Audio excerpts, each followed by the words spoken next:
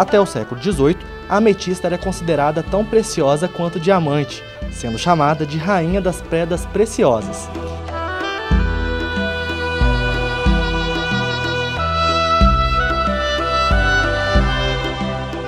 Com as jazidas abundantes encontradas no Brasil nesta época, a pedra deixou de ter tanto valor financeiro.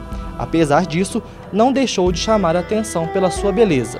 De cor violeta, a pedra está ligada muito à espiritualidade, como explica a especialista Graciela De Filippo. É uma pedra que trabalha esse chakra daqui e esse daqui, que são conectados especificamente com a espiritualidade. Essa energia que vem dos planos superiores é a que vai modificar a tua vida. É a energia do perdão, é a energia da, da transmutação, porque sabe que é, muitos trabalham com o raio violeta, que é a da transmutação das coisas. Mas por que que transmuta? Porque ela te faz compreender o quão maravilhoso você é.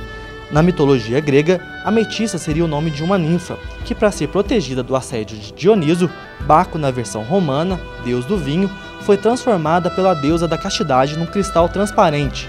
Baco então nada mais podia fazer, a não ser mergulhá-la no vinho, de onde teria vindo sua coloração arroxeada. Por isso, acredita-se ainda que esta pedra ajude na proteção contra vícios, principalmente a bebida. Quando eu fazia elixir para curar vícios, que também os elixires ou os remédios de cristais servem para curar vícios, é, na parte da bebida, sobretudo, quem bebe muito, é muito bom levar uma ametista ou colocar, ele te dá esse impulso, essa força, essa compreensão de que isso já não faz bem para a sua vida. Pelo mesmo motivo da mitologia, a pedra pode ajudar as pessoas a se protegerem de relacionamentos. Em essas vidas ou em outras vidas, a pessoa talvez ficou machucada por um relacionamento que não foi bem sucedido. Então o que a pessoa faz? A pessoa diz assim: eu vou me proteger. Como era que ela se protege? Criando camada de gordura. Então o que faz a ametista? Ela dissolve essa energia, ela é utilizada no emagrecimento, porque tem o elixir para emagrecimento também, enquanto ela vai dando o suporte para compreender que você não precisa se proteger, que não todos os relacionamentos são iguais a ação da pedra também se dá sobre o sono e a ansiedade. A ametista também serve para dormir.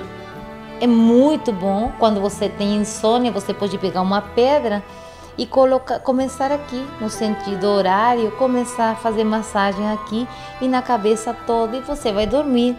Ou simplesmente colocar num copo com água e deixar num, num gráfico de radiestesia, que é o duplo decágono, ela vai se concentrar, você bebe antes de dormir e ela acalma a ansiedade, acaba com a depressão e deixa você dormir tranquilo.